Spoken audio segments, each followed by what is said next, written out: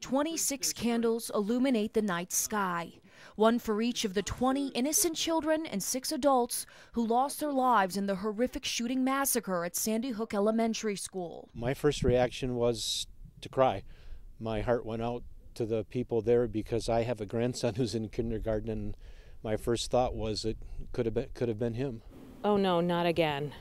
It can't be happening again. I was devastated and I just sat on the edge of my bed and I just cried. Three days after the tragedy and hundreds of miles away, this northern Michigan community is overwhelmed by sorrow and pain. I try to wrap my mind around the whole thing. I can't even imagine what the parents and the family the first responders are going through. As they struggle to make sense of the unimaginable, the Manistee community comes together to show their support for those struggling in Newtown, Connecticut. We care, and you're not alone. The whole country is behind you 100%. We are one nation under God, and that we uh, will always pull together. We'll always be there for one another, uh, no matter how many miles we are apart.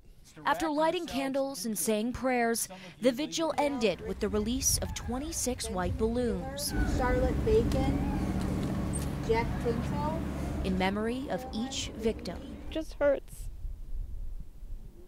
It just hurts. They're not ours, but they are ours. We're all one. So it's nice to see everybody else come together.